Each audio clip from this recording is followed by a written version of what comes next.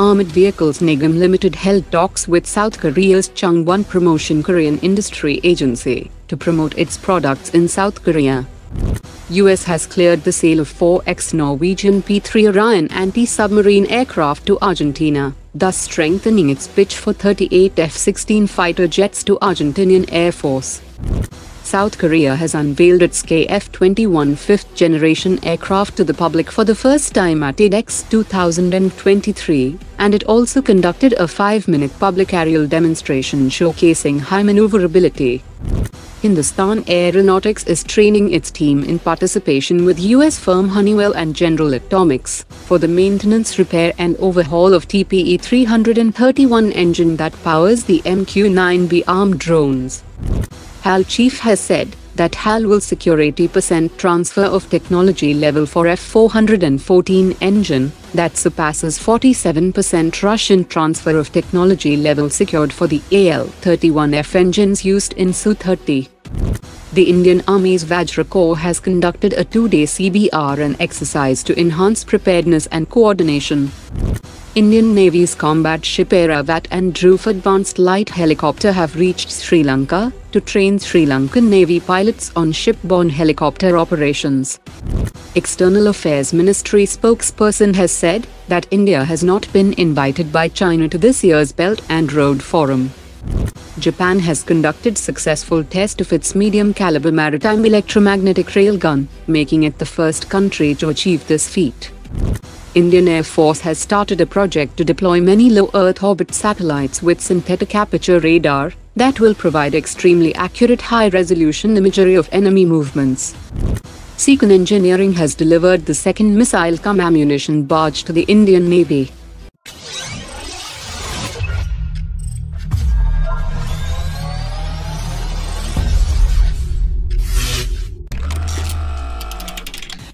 In order to explore its options for the procurement of advanced fighter jets, the 5th Fighter Wing of the Philippine Air Force held its annual exhibition at Basa Air Base, where Saab Lockheed Martin and Korea Aerospace Industries promoted their respective fighter jets. And interestingly, India's Hindustan Aeronautics Limited also showcased its Tejas Mark 1A fighter jet.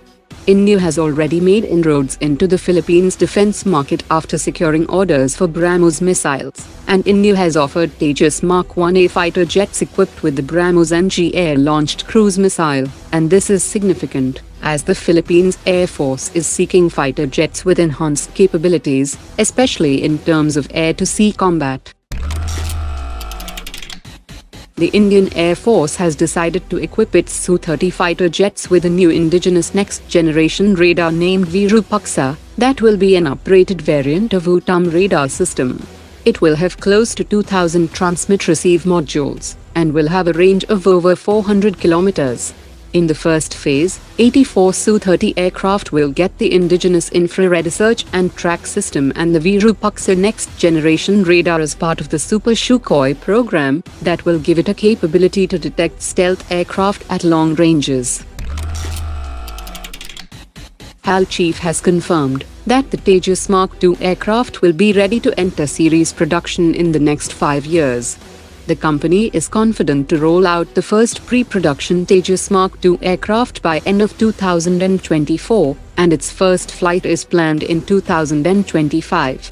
The retirement of MiG-29 UPG and Jaguar strike aircraft is expected to start from 2030 onwards, followed by retirement of 50 Mirage 2000 aircraft from 2035 and it is predicted that the orders for Tejas Mark II will be over 200 fighter jets by 2040. The Ministry of Defense has already granted approval to the procurement of 590 future-ready combat vehicles powered by 1,500 horsepower engines in the Phase 1 of the program. As per latest media reports, the Indian Army is re-evaluating the technical requirements for its upcoming future-ready combat vehicle, and this re-evaluation is a response to the evolving nature of warfare. Major tanks have suffered losses due to low-cost loitering ammunition and airdrop munitions from hexacopters, and these threats have underscored the need for a comprehensive reassessment of the technical specifications for the FRCV. Today's top 3 comments